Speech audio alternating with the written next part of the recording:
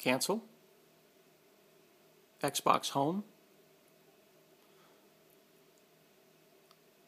Xbox My Pins. Go back. Games. Apps. Cancel. Xbox. Music.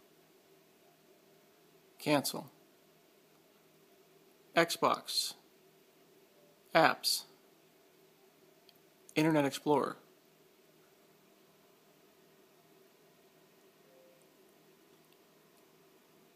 Play now.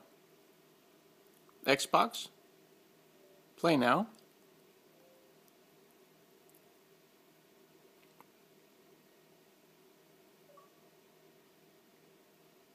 Xbox. Favorites. Scott Hanselman.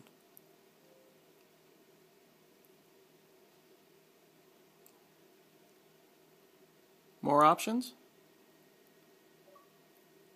Settings. Use whole screen. Cancel. Cancel. OK. Xbox, OK. So I'm using the Xbox and now, and this is Windows, uh, not Windows actually, excuse me, this is Xbox on my big screen. This is me moving the cursor, and there's a couple of different ways I can do that. I can do it like this, using my Xbox controller, which is, you know, irritating, but it is what it is. I can move around. Now, I happen to have the chat pad, and I highly recommend this, not just for Internet Explorer, but just for anything, uh, being able to chat people. This just plugs right on the back of the uh, of the controller, and it's just fantastic. Cannot say enough about this. But turns out that this little chat pad that I bought many years ago for texting over Xbox is super, super useful, useful when I want to go and do something like uh, type into a web browser, a web browser text box. So here I can just uh, hit A, and then I've got a keyboard, which is, again, it is what it is, but I can just type on the chat pad and that is mirrored up on the screen. But if I have a Windows laptop, like this Windows 8 laptop right here, I can use the touchscreen here to control what's going on on the screen, and that becomes, I think, a lot more interesting. So I'm just using my finger here on my little tablet to move around. And here's the cool part. I can actually scroll around and zoom in, which is crazy. So I'm pinching and zooming down here, and I'm getting a pinch zoom experience up on the screen, which is kind of cool. There's a remote button down here. See, it says remote. I can also say play here, and this is kind of fun. If I say play here, it took that web page and then brought it down onto my tablet. So it, it moved it, it played it here. If I switch back over to the smart glass, I can move around and say, well, I want to play, you know, this Brandy song on the Xbox.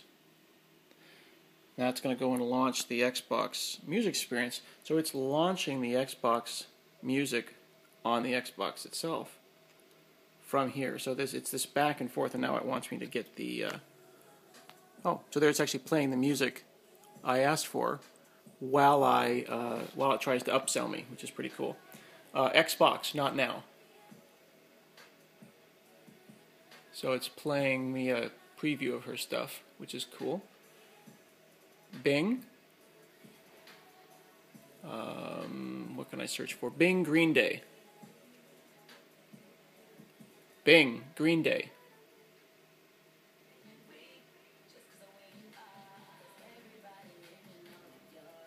So then it just binged Green Day, Green Day. Xbox, Green Day. Play top songs. So while I'm doing this, things are moving around down here too. So I can kind of say, look, there's the Green Day just showed up down here. And then it's showing music that is related. Xbox cancel. Xbox home. So now I'm sending it home. So I'm kind of going back and forth, sometimes using the voice, which is actually more useful than I thought it would be, sometimes using the controller, and again, this keyboard is really, really useful, and sometimes using this little smart glass idea. So I'm, I'm pretty jazzed, I'm pretty impressed. The thing that's the coolest, I think, is the ability to have the tablet that you probably already have in your pocket, or in your lap rather, uh, available. So here I'm just going to kind of scroll around, and as I'm scrolling with the tablet, and I'm looking forward to using my iPad, in fact, I can go and pick these things. So that's the new Xbox dashboard along with Xbox Smart Glass. And this happens to be a Windows 8 tablet, but uh, word on the street is that there's going to be uh, iOS, iPad support for this stuff very, very soon.